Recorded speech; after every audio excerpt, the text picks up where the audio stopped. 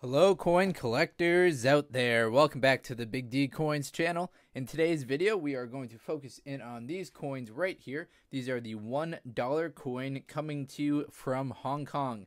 Now, the ones I've got right here are both dated 1978, but we'll also introduce a couple of more recent ones. This one's dated 94 and this one is dated 1998, as well as one older one. This one is dated 1960. So if you're into coin collecting, uh, into foreign coins specifically, maybe you just like uh, the country of Hong Kong, that's why you came across this video, but I think you will find it informative and fun, and uh, maybe it'll interest you more in coin collecting. So let's get into the details of this specific coin right here.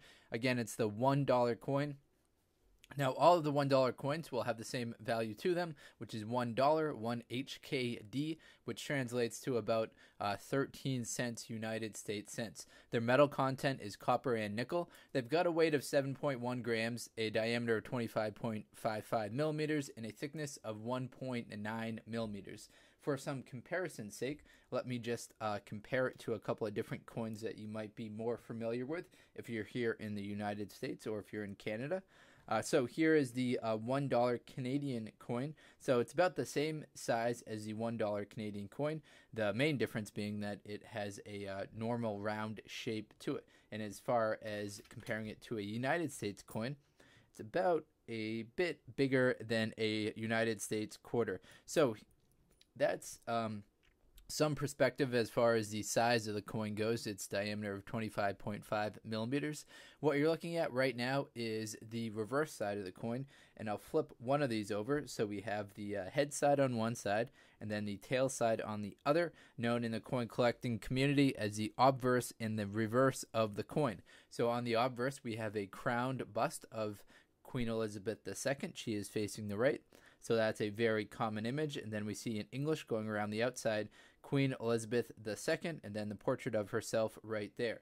Now, as far as the reverse side, the back side, this side right here, we see Hong Kong in English, and then in Chinese as well, and then one dollar in English, and then in Chinese as well. Then that uh, animal right there is a standing crowned lion. He's located above the date right there, and then the value down here at the bottom.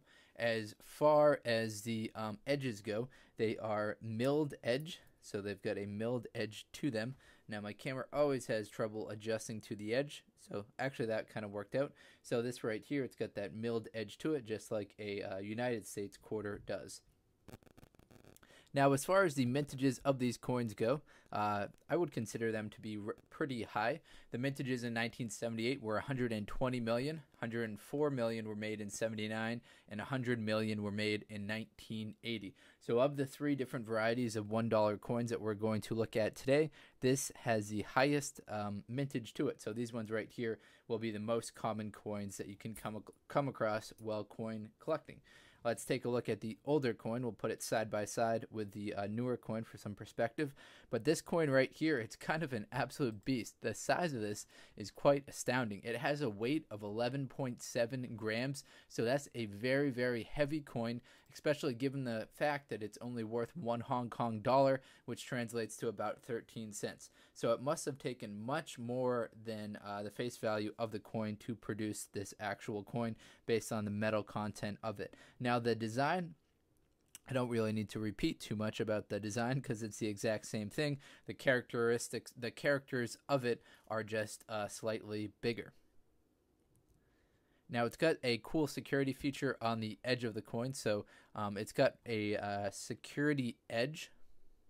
So there's a reeded edge going around the outside, two outsides, and then sandwiched in between, it's got this cool little uh, additional details going around the inside of the coin. So we've got the edge on the outside and the outside, then a, a detail going around the inside of the coin. So that adds some security features to the coin.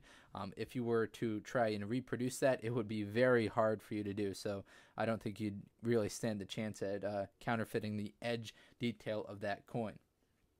All right, so this is the obverse side of the coin. Again, we see a crown bust of Queen Elizabeth II. Now, as far as the mintage of this coin goes, uh, there are two different mints that made them apparently at 1960 or two different mint marks at least. So the first one is the H mint mark. So the uh, H mint mark made 40,000 and then we have the KN mint mark which made 40,000 as well. And then in 1970 they made 15,000. So uh, much lower mintages for this older $1 Hong Kong coin, um, which is understandable considering it's older and the size of it is just so big that you wouldn't really want to make a lot of these because you'd lose money on every one that you made. All right, so we'll slide that one out and then we'll bring in this one right here for some size comparison. These two right here are the more modern $1 Hong Kong coins. So their value is going to be the same that we were looking at earlier, about a 13 cents United States dollars. Uh, and they are all the same metal content for all three of these coins. They're all copper and nickel. The main difference that we see uh, is the different weight and the different size of the diameter of the coin. What we see on this side, um, we actually got a different uh, design to it. So this is the Hong Kong orchid flower.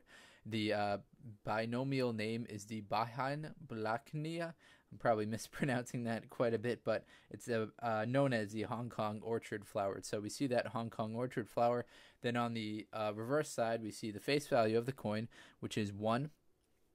Then the year it was made, 1998, and then uh, $1 right here. So we see the numeric value as well as the written value. Unfortunately, I don't have the mintages of these coins, um, but uh, definitely worth adding to your collection if you can come across these. And interestingly, I didn't seek out to build this uh, kind of set of Hong Kong one dollars. They've all just kind of come into my uh, collection at different times. So it's pretty cool to see a Hong Kong dollar dated 1998. We've got one that's dated 1978, and then we've got one that's dated 1960. So some very cool coins. Hopefully you enjoyed this video. If you are into the Hong Kong dollars, I'm going to try and make some other videos as well. I might make a uh, one about this $10 coin right here. I've also got a $2 coin and a uh, $5 coin. So maybe I'll be able to crank out a video about these uh, larger $1 coins as well. So check that out if that interests you. Thank you very much, everyone, and best of luck coin collecting out there. Enjoy.